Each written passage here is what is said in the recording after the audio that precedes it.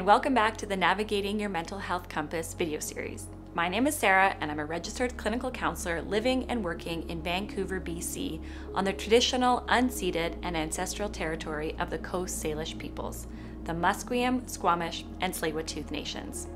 Navigating Your Mental Health Compass is an eight part video series that provides evidence based education and strategies from acceptance and commitment therapy, also known as ACT, to help you build greater self awareness, learn effective strategies to better your mental health, and move beyond obstacles to live a life with meaning and purpose. This is episode 5 in this series. If you haven't already watched episodes 1 through 4, I encourage you to go back and do so. Although the episodes don't necessarily need to be watched sequentially, I do reference content from previous episodes. So far, we have covered the ACT core processes of present moment awareness in episode 2, which is also known as mindfulness, acceptance from episode 3, which is a strategy that helps us cope with what's out of our control, and cognitive defusion, episode 4, which is a coping tool to help us cope with difficult thoughts. In this episode, I'm going to cover the ACT strategy of the observing self, which is one of the six core processes of ACT. The observing self is the part of our consciousness that can step back and observe our thoughts, emotions, sensations, and experiences without getting entangled in them or being defined by them. It's the aspect of ourselves that can notice what's happening within us and around us from a perspective of non judgmental awareness.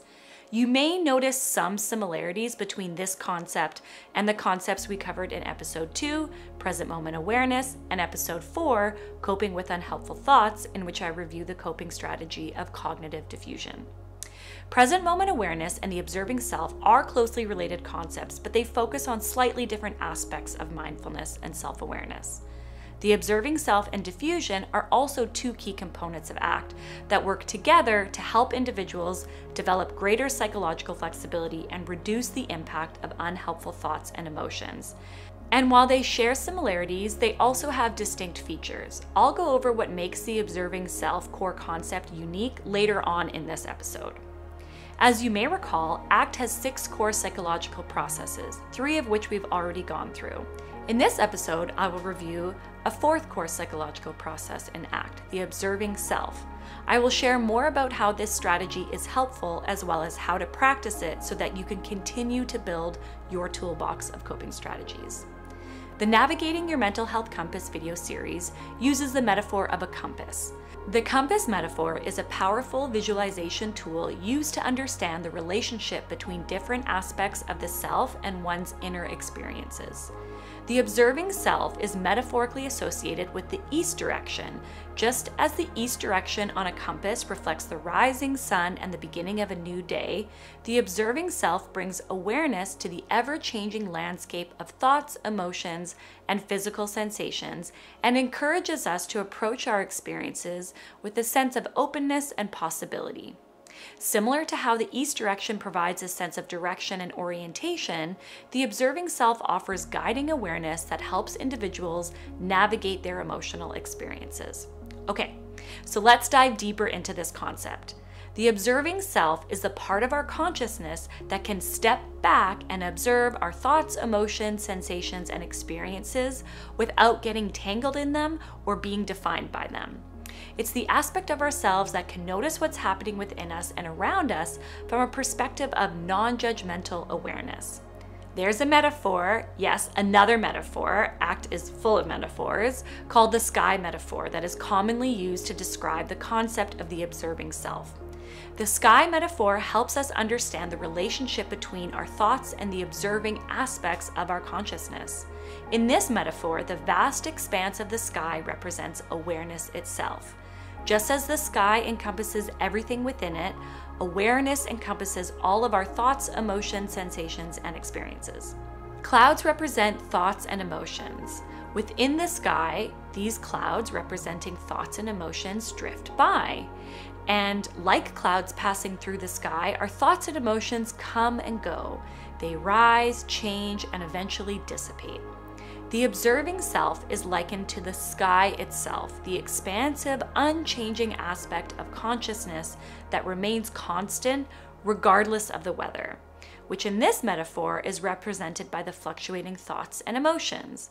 The observing self is the aspect of our awareness that can observe the different weather systems without becoming identified with them. By recognizing that we are the sky, which is the perspective of the observing self, rather than the different weather systems that occur within the sky, we gain perspective and awareness of our thoughts and emotions rather than becoming entangled and fused to them. This perspective allows us to observe our experiences with greater clarity and calmness. The sky metaphor emphasizes the non judgmental nature of the observing self.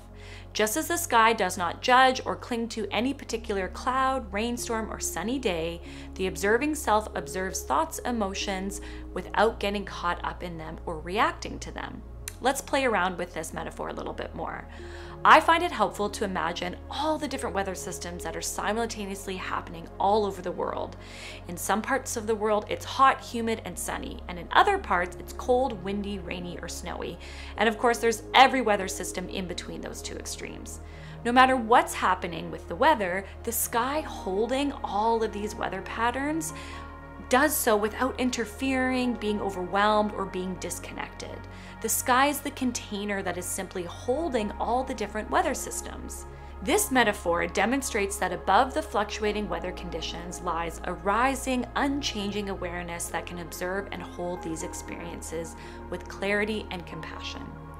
The observing self demonstrates to us that we have a similar part of ourselves that can notice our experiences from a distance without disconnection and without being consumed and overwhelmed. The ability to take the stance of the observing self is helpful for a number of reasons. First of all, enhance self awareness. The observing self facilitates greater self awareness by allowing us to step back and observe our thoughts, emotions, and behaviors. This increased self awareness can lead to deeper insight into our thought and behavior patterns. Secondly, increased emotion regulation. By observing our emotions without judgment, we can develop more effective ways of coping with difficult emotions. Rather than reacting impulsively or getting caught up in emotional reactivity, we can respond to emotions with greater clarity and self compassion. Thirdly, improved coping. Similarly, the observing self enables us to cope more effectively with stress and adversity. By reminding ourselves that we don't have to be in the center of the storm, but rather we can be the sky that holds the storm, we can build our resilience and resourcefulness. Next, values, clarity, and alignment. We haven't covered the ACT core process of values yet, but when we do in the next episode, you'll see how connecting to the observing self can help us clarify our values and align our actions to our values, which gives us a greater sense of purpose and fulfillment in life. Enhanced interpersonal relationships. The observing self can improve interpersonal relationships by prompting empathy, compassion, and effective communication by helping us become more aware of our own internal processes, we can better understand and empathize with others' perspectives, which can lead to deeper connections and reduced conflict in relationships. Ultimately, the observing self perspective promotes psychological flexibility, which is the ability to adaptively respond to our situations. All right, so let's just pause here for a moment. The concept of the observing self is somewhat existential, and it may sound familiar to a couple of the ACT core processes we've covered already. So let's start with how the observing self is different from mindfulness, which is the topic we covered in episode two. The main difference between mindfulness and the observing self lies in their focus. The observing self refers to the aspect of consciousness that can observe thoughts, emotions, and experiences in a way that involves stepping back. Mindfulness, also known as present moment awareness, involves fully engaging with an experience in the present moment. It's about being immersed in the experience rather than observing it. The observing self may also sound familiar to cognitive defusion, which was the topic covered in the previous episode.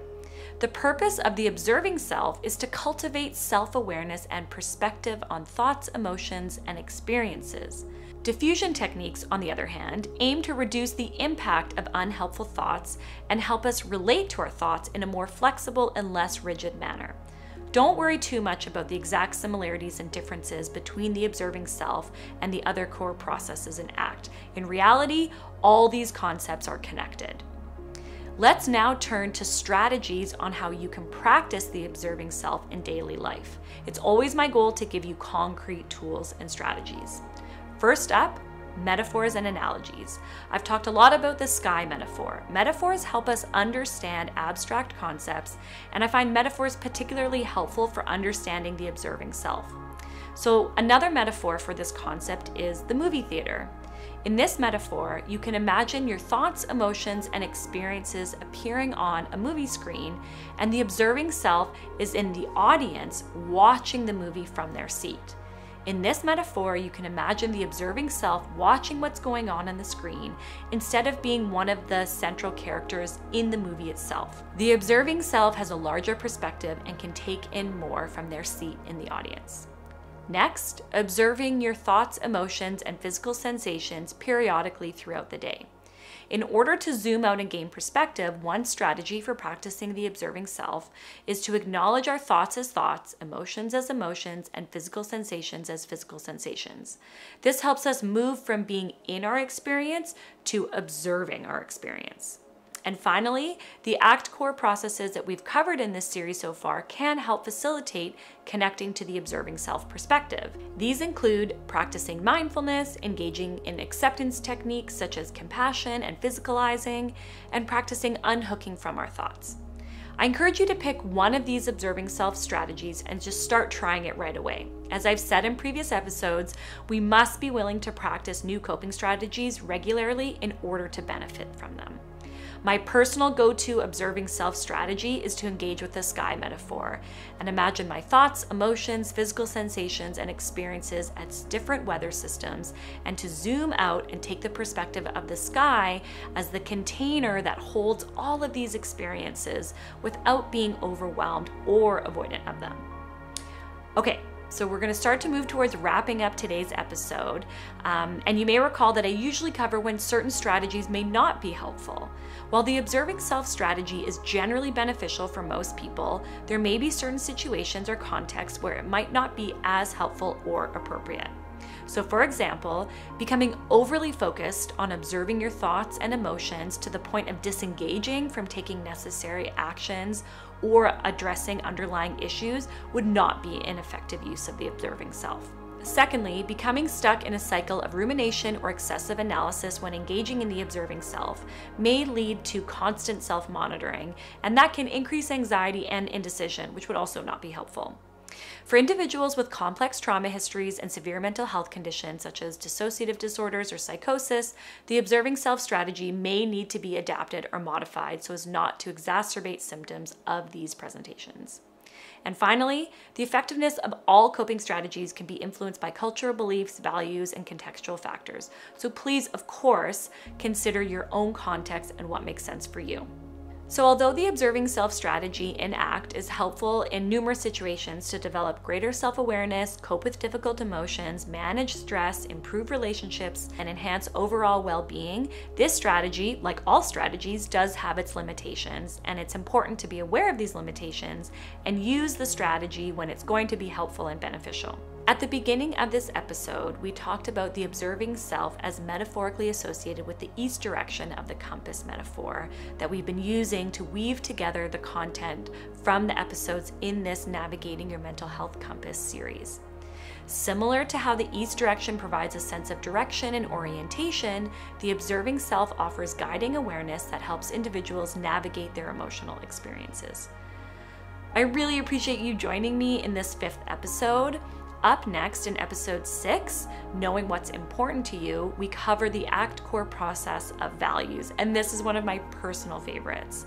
So, again, my name is Sarah. Thank you so much for joining me. Please be sure to check out the videos, a part of the Navigating Your Mental Health Compass series on YouTube. They're all there for you.